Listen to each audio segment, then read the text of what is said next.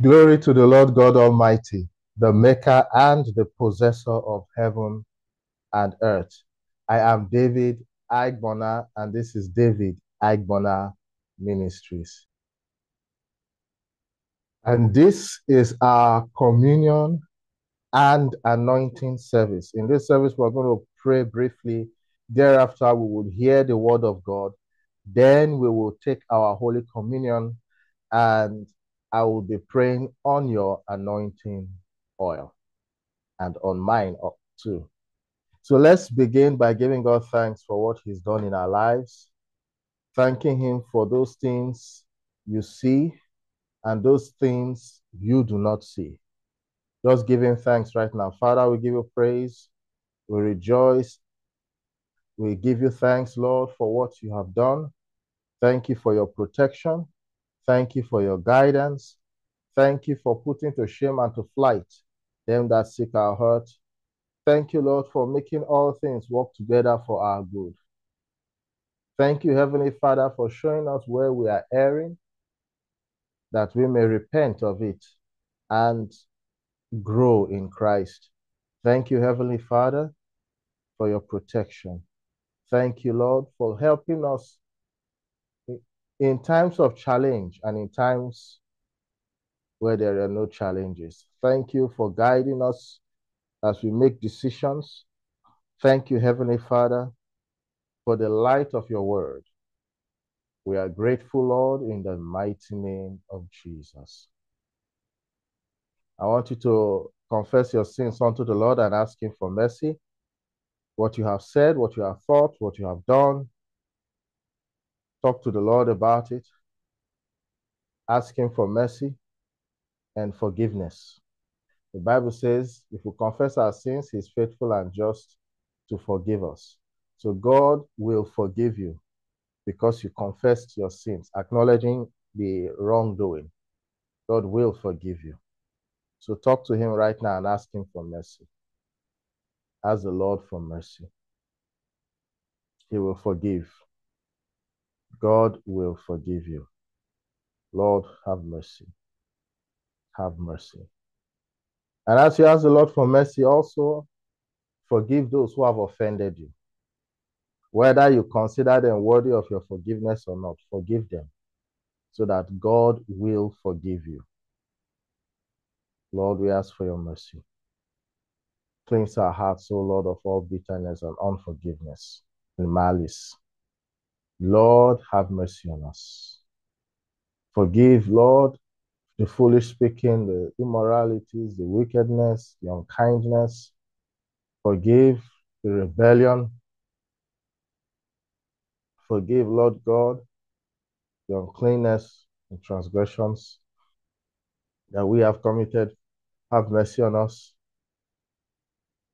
Cleanse us with the blood of Jesus. Strengthen us, Lord. Strengthen us. Give us a hatred for sin and a love for righteousness.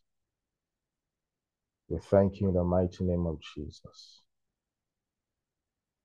Now I want you to ask the Lord to speak to you today. Ask the Lord to speak to you, to teach you, to heal you. Talk to Him. Ask for His help. Ask for His help.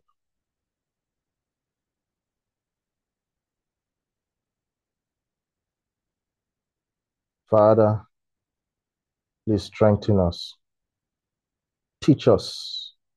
Feed us with your word. Feed us with your word, Lord. We give you thanks. We give you thanks, Lord. In this service, confirm your word. Speak to us.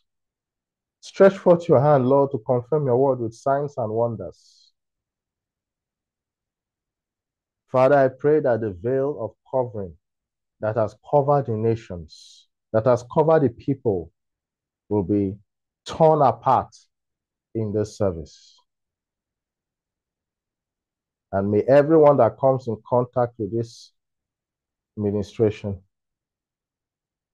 be set free of every bondage, receive deliverance and healing, breakthroughs and blessings. I pray, Lord, in Jesus' name. Amen and amen. And so today, we are going to look at the topic knowing God. Knowing God. What does it mean to know God? How do we know God? We'll start with the scripture in the book of Daniel, chapter 11, verse 32. Knowing God. What is the advantage of knowing God? Knowing God is not a mental awareness of the existence of the Creator. Knowing God is a relationship. Knowing God is a relationship with the Most High. That is what the knowledge of God means. Let's look at Daniel chapter 11, verse 32. And such as do wickedly against the covenant shall he, referring to the Antichrist, shall he corrupt by flatteries. But the people that do know their God shall be strong and do exploits. The people that do know their God shall be strong and do exploits. So there is a strength to do exploits. There is a strength to stand your ground. There is a strength to overcome the battles ahead. There is a strength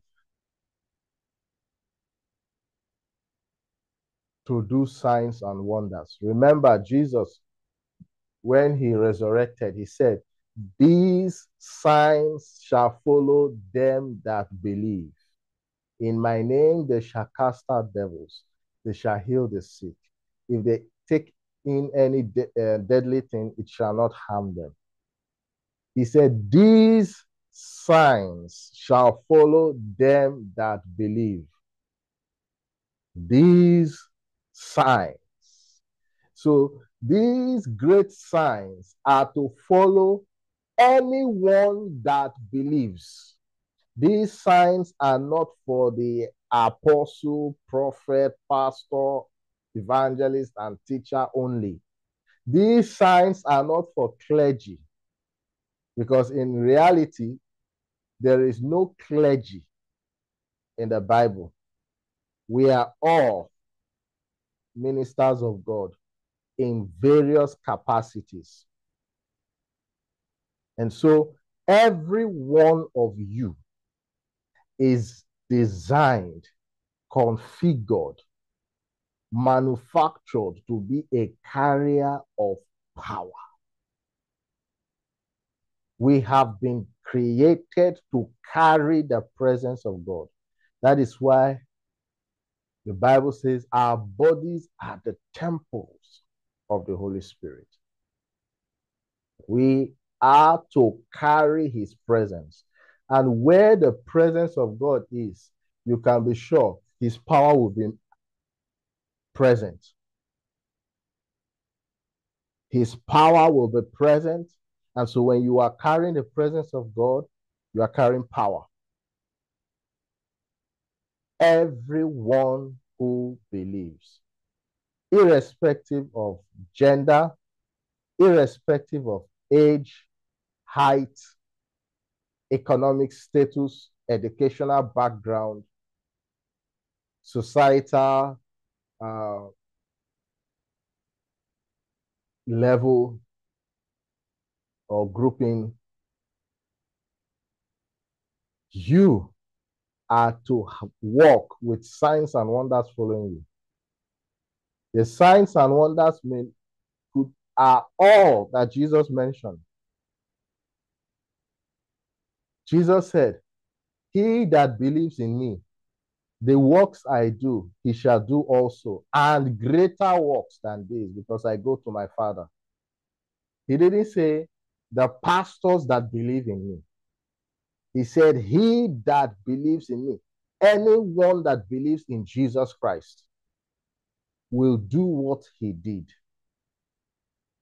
Anyone that believes in Jesus Christ will do what he did when he walked the face of this earth physically.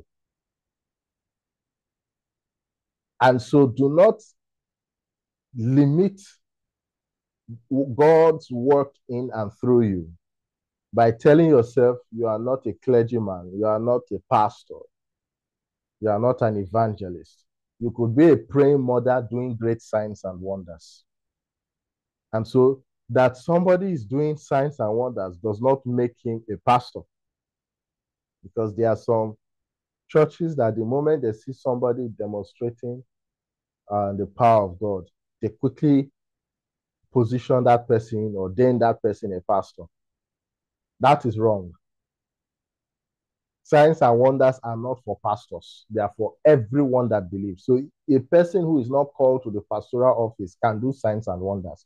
So, don't begin to put people in positions that they don't have the calling for. Signs and wonders, the power of God at work is for everyone that believes. So, they that know their God. And knowing God is a committed relationship with Him. Knowing God is you walking in His ways. Knowing God is you fellowshipping with Him.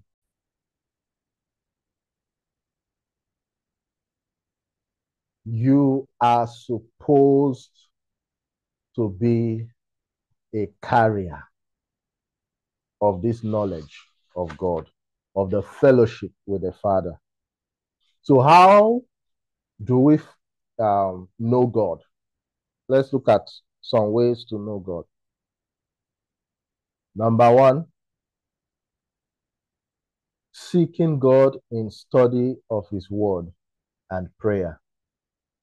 Seeking God in the study of his word and prayer. We're going to look at Proverbs chapter 2, from verse 1 to 7. Proverbs chapter 2, from verse 1 to 7. I will read. My son, if you will receive my words and hide my commandments with you, so that you incline your ear unto wisdom and apply your heart to understanding.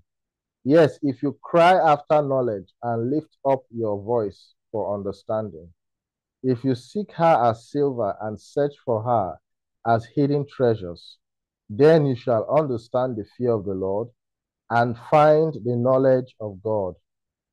For the Lord gives wisdom out of his mouth, and for the Lord gives wisdom. Out of his mouth comes knowledge and understanding. He lays up sound wisdom for the righteous. He is a buckler to them that walk uprightly. So we see that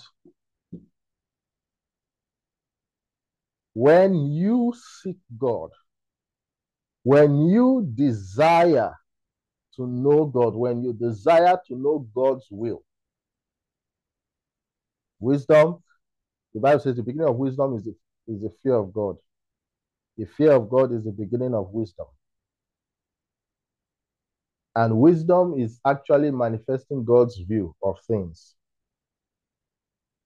Because God is the giver of wisdom. The wisdom Satan is using is corrupted, but it was given to him by God. He corrupted that wisdom. Corrupting the wisdom is that he's using the wisdom to destroy. That's the corruption in his wisdom. But he still has that wisdom. And so God is the giver of all wisdom. seeking God, serving Him in prayers, in study, you build your relationship with Him. And as you spend time in the presence of God, studying the Word of God, you develop a, a discernment for the voice of God, that you can recognize God speaking through people, through situations.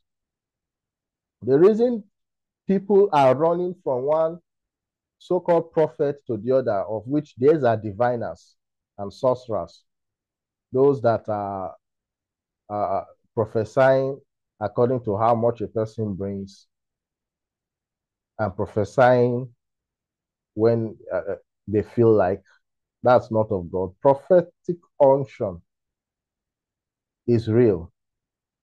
Prophecies are real. But prophecies come at the initiation of the Holy Spirit, not because somebody wants to just entertain a crowd.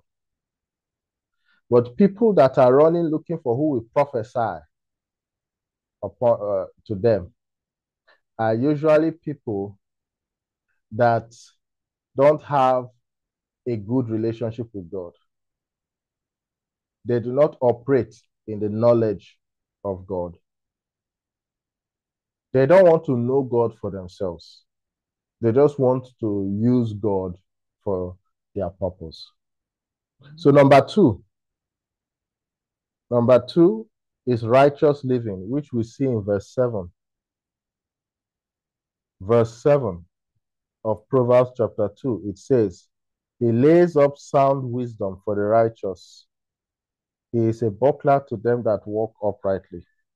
God lays up wisdom for they that are righteous. They that choose to live right, God will teach them. They that choose to please God in their lives, God will teach them. They that choose to be faithful to God, God will teach them. God will reveal things to those who are upright. God will give uh, wisdom to the righteous. Number three, obedience. When you obey, God will reveal. God rewards your obedience with increase in wisdom and knowledge. God rewards your obedience with a greater knowledge of Him.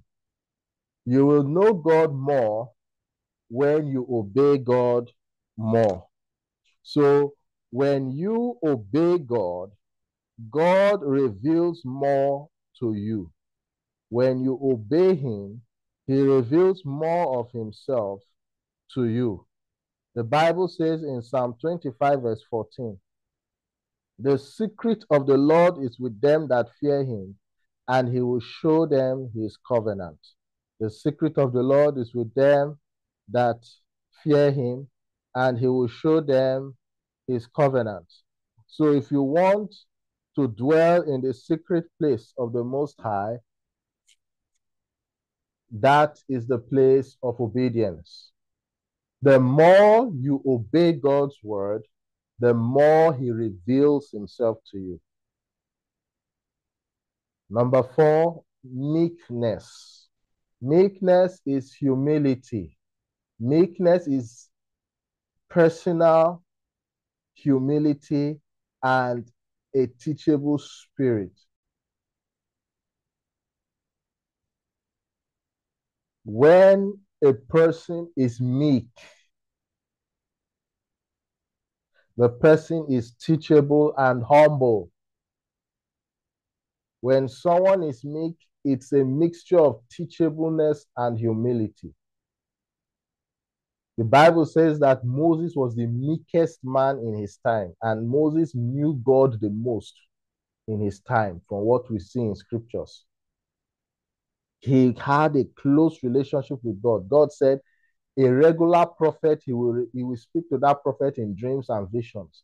But Moses was not so. Moses was one, the Lord said he spoke to face to face as a man will speak with his friend. So we see that Moses had intimate knowledge of God beyond other people in his time. And what was the quality of Moses? The Bible says he was the meekest man. So when you are meek, you are teachable, you are humble, God is pleased to reveal more things about himself to you. So this time of your life, use it to increase in the knowledge of God. Lay down your impressions, your attitudes, your presumptions, and be ready to learn.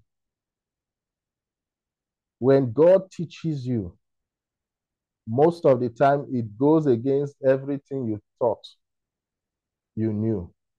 When God opens things to you, you realize that you were taught some errors. You realize that you have believed some errors. But if you say no, I don't agree with this. Wisdom is the principal thing. The Bible says, with wisdom you make war. So if you want to have the knowledge of God, you want to have the relationship with God, be meek, be obedient, live a righteous life, study the word of God with prayerfulness, study his word with prayerfulness. Be prayerful as you study his word. One thing I'll tell you about righteousness, because some of you may say, but righteousness is the same as obeying God's word. Righteousness goes beyond obeying God's word. Righteousness is to hate evil and to love good. Righteousness is to hate evil and to love good. I want you to thank the Lord for his word today. Thank him that he has spoken to you, he has spoken to me. Give him thanks. Thank him. Tell him you want to know him more and more. Tell him you want to know him more and more. And if there's anyone here who has not given his or her life to Christ, accepted Jesus as Lord and Savior, this is an opportunity for you. While the rest of you are praying to God, talking to God about your life, if you want to give your life to Jesus Christ, I want you to pray. It's Very simple. You can use your own words or you can repeat after me. Just, uh, I will say the words, you repeat after me, or you can use your own words. The Bible says, Whosoever calls upon the name of the Lord can be saved. It can be very short. It can be Jesus, save me. Jesus, I surrender. You have given your life to Jesus Christ. You have accepted him as Lord and Savior. So let's pray. Lord God Almighty, I repent of my sins. I ask for your forgiveness. I confess and accept Jesus Christ, your Son,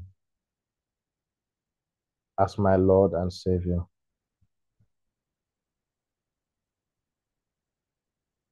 Fill me with your Holy Spirit. Keep me holy and righteous till the day I meet you. Thank you, my Father. In Jesus' name. Amen. You pray that prayer, you're born again. I encourage you to be baptized with water, being dipped into water and brought out. Any body of water, river, stream, pool. I once saw in a prison, someone was being baptized with a drum. In a drum, he was in the drum, there was water, they just dipped him into the drum. He had to bend down and then brought him out, he was baptized. even a clean bathtub. But being dipped in water and brought out is important as a symbol of your death with Christ and resurrection with Him. Let's pray. Father, I thank you for everyone participating in this service. Lord, help us to be strong. Fill our hearts with the knowledge of God. Lord, reign in our lives and glorify your name in us and through us. We thank you in Jesus' name. Amen. So get your communion materials ready. If you want to contact me, want to contact me or this ministry, uh, you can reach me by WhatsApp and Telegram. There's a WhatsApp and Telegram number. I'm going to call that number. It's for WhatsApp, it's for Telegram. There's no Telegram channel. It's a number. Plus two, three, four. That's the country code. Right? Seven zero three three four three six eight. And then by email, David Aigbona Ministries at gmail.com. Aigbona is spelled A I G B O N A. That is David Aigbona Ministries at gmail.com.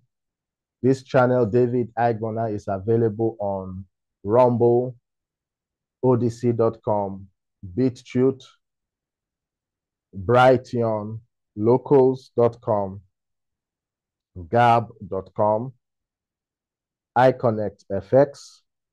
We are on SoundCloud. You have the podcast on SoundCloud and TikTok. We're also on TikTok.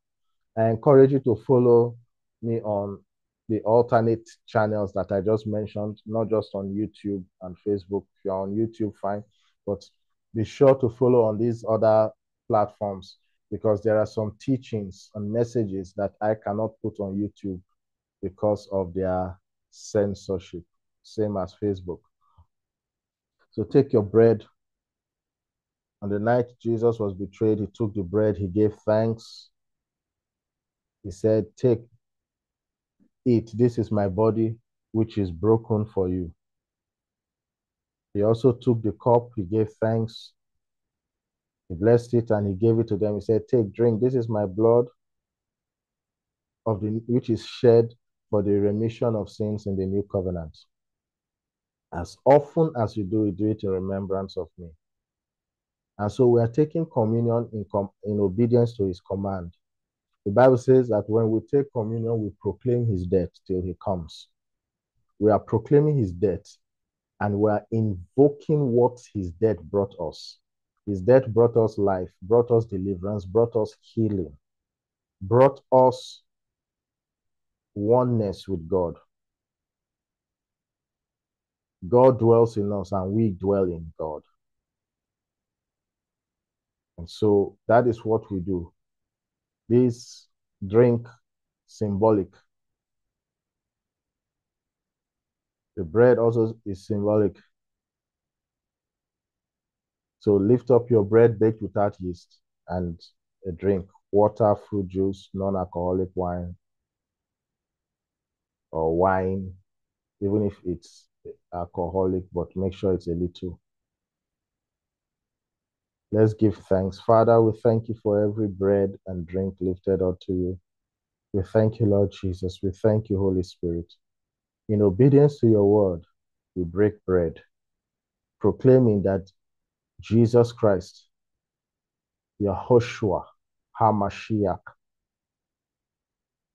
he came, he died, resurrected, and he lives in us, and we are sustained by him.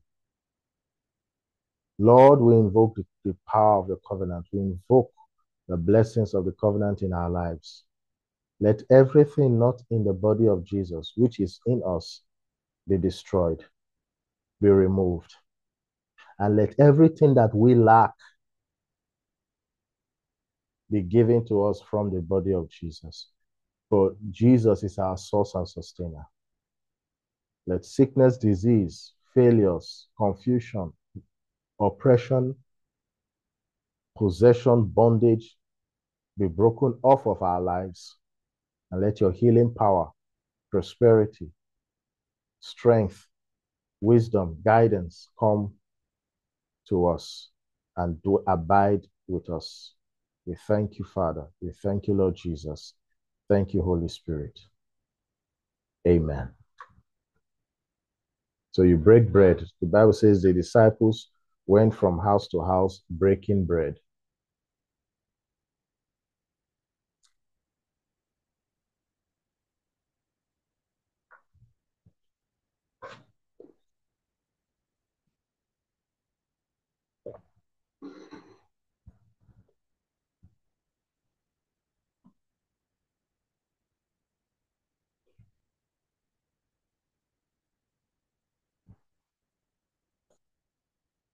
The disciples went house to house breaking bread, and they were doing it often. And so we should do it often. You can do it at home with yourself alone. You can do it with your family and friends. It must not be in a church building. And it must not be done uh, by a pastor. Take your oil. Please do share this video, download and save it offline so that you can watch it again and again. Feel free to upload my videos to your own social media platforms. I want the gospel to spread. Lift up your oil. Father, I thank you for every oil lifted unto you. I pray you turn this ordinary oil into holy anointing oil, that your power flow through it.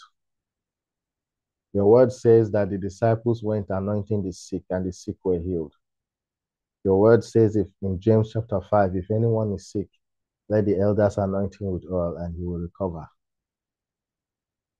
Your word says in Psalm 45, verse 7, you love what's right, despising evil. Therefore, God your God has anointed you with the oil of gladness above your fellows. In Isaiah chapter 10, your word says, because of the anointing, the yoke is broken off of you. Lord, may your protection, favor, healing, deliverance, may your presence come upon us, even as we are anointed with oil. And as we anoint our homes, our uh, whatever we anoint, we dedicate it unto you. It is consecrated unto you. Thank you, Lord. Whoever is anointed with this oil, may they receive the blessings that come with the anointing. Whatsoever is anointed with this oil is consecrated unto you.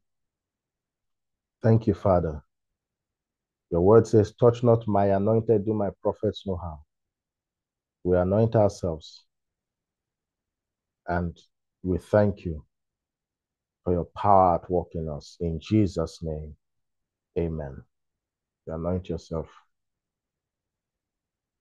Thank you, Father. Thank you for participating in this service. I look forward to seeing you again. I always upload or go live on Sundays and Fridays. On Sundays, believers communion and anointing service where I minister just like this. And then on Fridays, it's prayer, healing, and deliverance. We pray together. I minister healing and deliverance to people. So be sure that every Sunday and every Friday, content will be uploaded. And during the week, I also upload sometimes. May Yahweh bless you and keep you. May Yahweh cause his face to shine upon you and be gracious to you. May Yahweh lift up his countenance upon you and give you peace. Amen. See you again.